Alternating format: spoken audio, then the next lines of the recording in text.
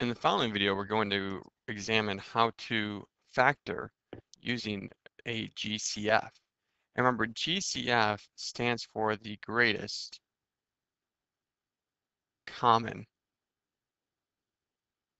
factor.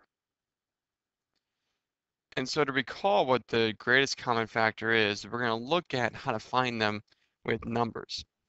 And when you learn to do them with numbers, you know, the greatest common factor, factor means, you know, it's going to be smaller. I mean, people, students usually get GCF confused with LCM, and LCM means least common multiple, meaning the numbers are going to be looking at their multiples. It's going to be increasing. GCF, you know, factors, factors are what a number breaks down into. So we want to find what our greatest common factor is of say 12 and 24. And so if we take a look, you know, what's the GCF of 12 and 24? What you do is you break down 12 into a product of prime numbers. And so 12 can be broken down into, let's say, 4 and 3. 3 is prime, so we're going to keep that. 4 is not prime, so we break it down even more and just say 2 and 2. And so 12 is really the product of 2 times 2 times 3. And we do the same thing with 24.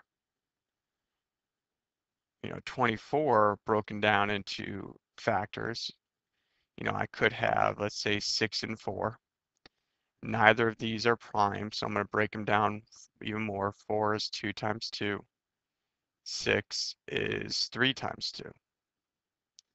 Now all of these are prime, and so 24 is the product of 2 times 2 times 2 times 3. And so if you want to find the GCF of 12 and 24, what you want to do is you want to see what are the ones they have the most in common. And so I see they both have two twos, and 1, 3. And so the GCF is 2 times 2 times 3, which is 12. And so numerically, you break them down into their factors. And with numbers, those are prime factors. And so the same thing can go for 6. You know, 6 is 2 times 3, and both of those are prime we saw here that 12 is 2 times 2 times 3. Now, if I wanted to break down 36, you know, I have 36. 36 is 6 times 6. You know, 6 is not prime, so let's break it down into 2 and 3, and both of those are prime. So 36 is, you have two 2's, so 2 times 2, and then two threes, so 3 times 3.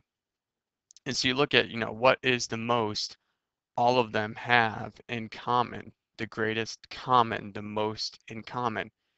And so I see, you know, they all have 1, 2. And they all have 1, 3. And so my GCF is 2 times 3, which is 6. And so we're going to apply that with factoring quadratics. We're going to break a quadratic down into its factors. And then we're going to see which ones are appearing the most. What is their greatest common ones to find the GCF and to factor from there. In this video, we're going to apply the GCF technique to practice factoring polynomials. So in the first example, we have 9x cubed minus 3x squared.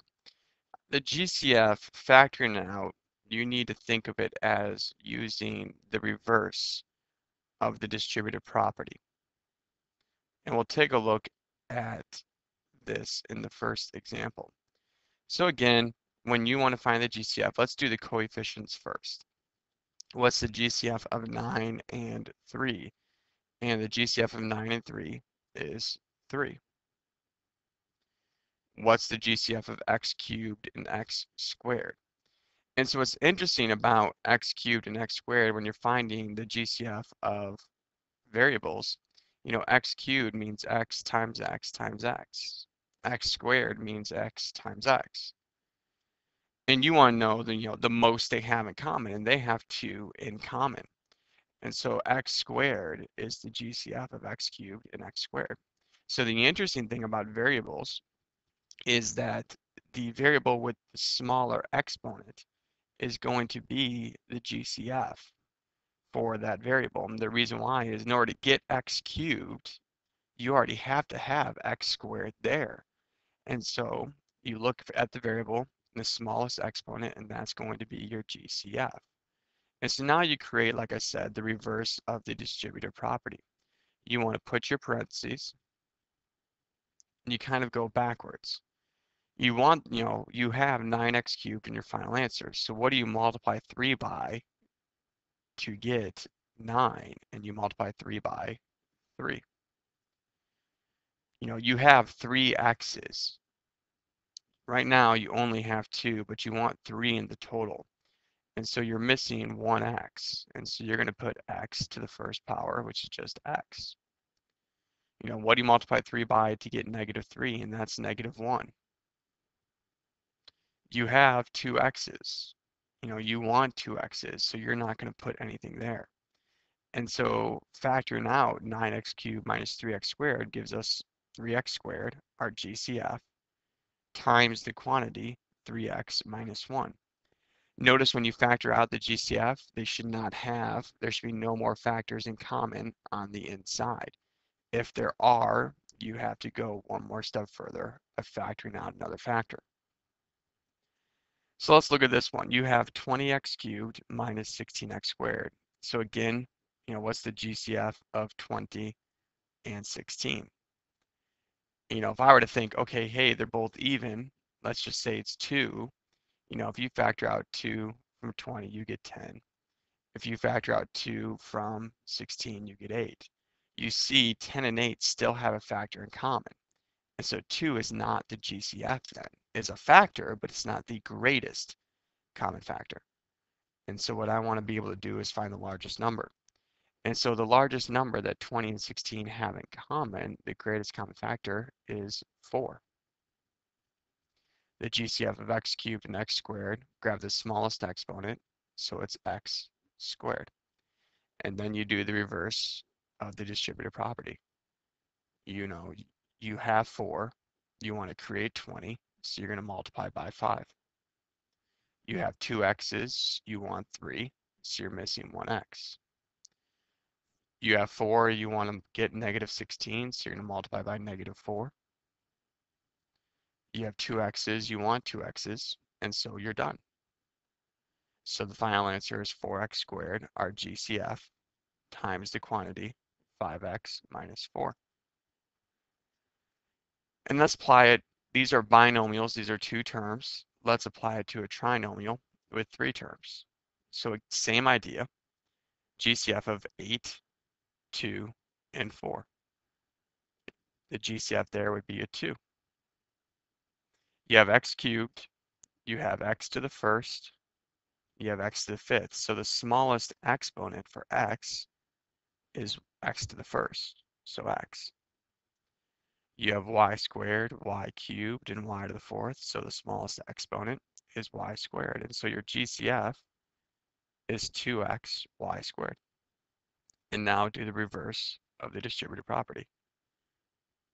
What do you multiply 2 by to get 8? And that's 4. You have 1x. You want 3. So you're going to put 2 on the inside you have two y's and you want two y's, so you're just going to leave it alone. What do you multiply 2 by to get negative 2? And that's negative 1, so I'm just going to put my minus sign. You have 1x, you want 1x, so that's already accounted for. We're not going to put an x here. You have two y's, you want 3, so you're missing one y. So we're just going to put a y. You have 2, you want to create 4, so you're going to multiply by a positive 2 you have 1x, you want 5, so you're missing 4 x's. You have 2 y's, you want 4, so you're missing 2 y's. And so your final answer is 2xy squared, or GCF, times the quantity, 4x squared minus y plus 2x to the fourth y squared. Notice when you're factoring out a GCF, you start off with a binomial. You start off with two terms. And inside the parentheses, you're still going to have two terms. I know I had two terms here. Inside the parentheses, two terms. And this one I had three terms. Inside the parentheses, I have three terms. So when you're factoring out the GCF, you know, you're factoring out the greatest common factor, but inside the parentheses, you're still going to have the same amount of terms. And the reason why is because you're doing the reverse of the distributive property. If I were to distribute back in, I should get the above result. So that's why the terms on the inside need to match the original amount of terms in the beginning of the problem.